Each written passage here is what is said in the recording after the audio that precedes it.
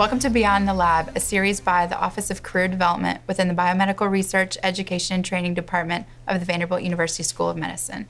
We're excited to have Hillary Carter here today. She is a 2009 Cell and Developmental Biology major, and she is here today um, to tell us a little bit about her. And so we're glad to have you. Welcome back. Um, so tell me a little bit about what you did while you're here at Vanderbilt. Sure. So first, let me just say thank you for having me here. It's such an honor to be invited back after um, having undergrad and graduate school, um, having gone to undergrad and graduate school at Vanderbilt. So um, I work at the U.S. Department of State in the Office of Cooperative Threat Reduction, where I am a team chief and the senior advisor for biosecurity. And our office um, mission is to work with partner countries to strengthen biosecurity, nuclear security, and chemical security.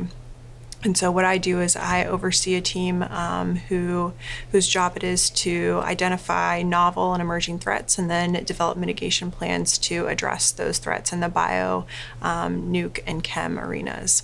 Um, I also oversee another team um, whose job it is to justify our annual budget, um, execute the budget, and then also uh, monitor and evaluate our foreign assistance funds. Okay, so this was obviously not what you did at Vanderbilt. Tell me about um, how you got from Vanderbilt to this role. Sure.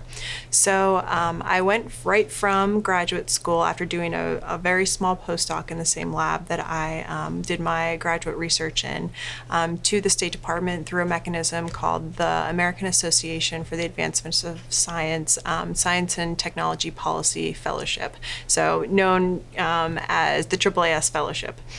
Um, and this is a fellowship that takes scientists with PhDs or engineers with a certain level of experience um, and places them in the foreign or in the federal government to um, infuse the policymaking process with scientific expertise and um, critical thinking skills, skills that scientists do possess.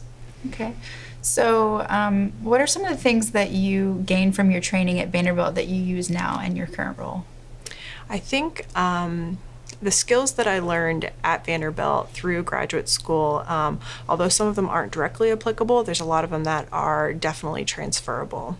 Um, one that I would highlight is the ability to think critically about something. Um, in graduate school, we're always trying to identify um, or ask, answer a question, and then I um, develop assays to answer that question.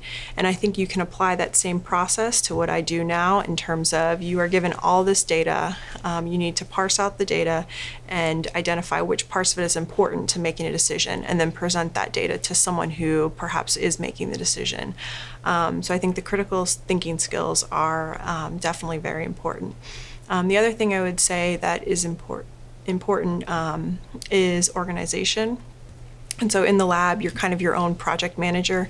You're running your experiments. You're perhaps working with other collaborators or technicians. Um, you're reporting these things up the chain to your boss um, and taking those skills and then applying them to the position that I'm in um, is incredibly helpful because you're doing a lot of the same things and you need to maintain the um, email flow um, and find a way to organize how you respond to all of the emails, which is, you know, could be 200 or so a day. Um, so I think organization is a really important skill um, that you learn in grad school that can be transferred to several different things. Um, another thing that I would say is communication skills. Um, written and um, oral communication skills. I would say that the way um, science is written about in terms of publications is very different than it is in the position I'm in currently. Um, you basically have to put the bottom line up front, or in in um, at the State Department, but in grad school you kind of um, navigate your audience to whatever your conclusion is, and so as as soon as you learn um, the difference, um, taking the skills that you had in grad school, um, it's easy to apply that to putting the bottom line up front and then supporting it underneath. Okay, so you have a very interesting role. I'm sure, um, you know, currently where you are, you went from fellowship to your current position. How mm-hmm. did you go to that? You know, how did you make that transition after your fellowship? Mm-hmm. So I stayed in the same office. Um, during the fellowship, I was a program officer Um, after the fellowship, I stayed in that exact same role um, as a program officer and then transitioned into a deputy team chief role um, and then transitioned into the role that I'm in now. And um, again, I've stayed in the same office, so I've been there for almost five years now and um, have tried to acquire different skill sets to move into these different roles and then also take initiative um, to be able to do the job adequately. Okay, so how is it a good fit for you personally? I think the the office that I'm in is a really good fit in the sense that we are a very teamwork oriented office, um, and I love working in teams. I think the product is better um, when we come working in teams, and so I think that has been um, a really good fit for me and uh, my background, um, not only in the lab but also outside of the lab as well. Um, I would say another reason it's a good fit is. I'm still able to use my technical background, um, but I, I don't have to focus exclusively on one problem like I was in the lab. Um, I was identifying a problem and knew, you know, every aspect of whatever that question was I was asking.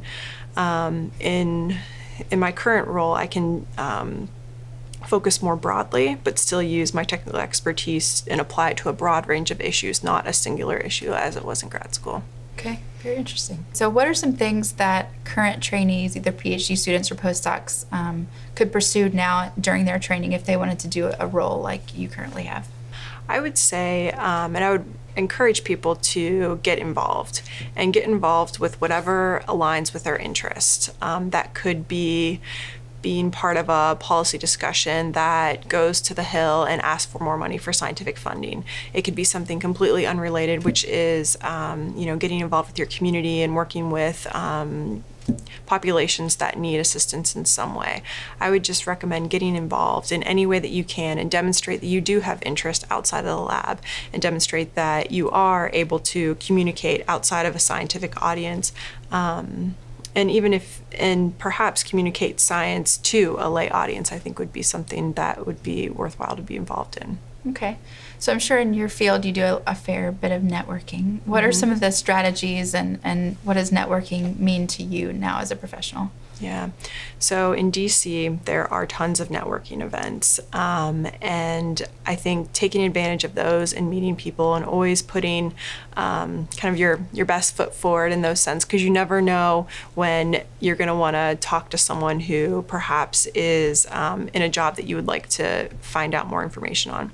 I think another thing is setting up informational interviews. I mean, even if you're not particularly um, if you don't if you don't necessarily want to work at that place but you want to learn more about it that mm-hmm. could lead you to other opportunities um, so setting up informational interviews that could open the door to a lot of different um, possibilities that you may be interested in um, I would also say um, using the broader network of your kind of closer network. Um, so if you have friends who you know have friends who work on the hill let's say and you want to get hill experience um, finding a way to uh, meet with them. Okay great. So what are some things that you wish um, you knew as a phd student that you know now? Um, I would say that um, there is, there are a lot of alternate careers outside of um, being a scientist, and I think it's fantastic for those people who want to be laboratory scientists um, and go on to be PIs. Um, that was not something that I wanted to pursue, and so it was a pretty um, dark day, perhaps, when I realized that you know bench science at the um, in the lab day in and day out was not going to be my future. And not knowing what those possibilities were was a little was quite um, um, it was a little discouraging.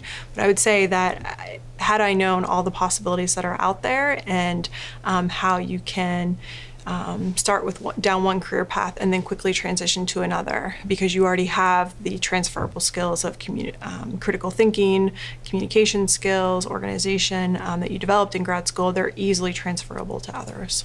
Good. Okay, so last question. I know we talked a little bit before the interview. You have two small children. What does your mm-hmm. work life balance look like for you? Yeah, and this is a great question. It's something that's evolved um, over the past four and a half years, I'd say. Um, I think that for me, I have to be at home during certain hours of the day, um, and I have to be at, at, the office certain hours of the day.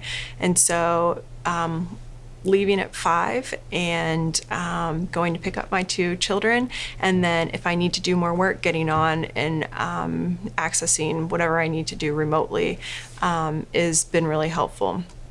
I think in terms of work-life balance, a difference between the lab and the job I'm in currently is science never stops, at least in my experience. You're always having to take care of your animals, split cells, um, continue to experiment over the weekend.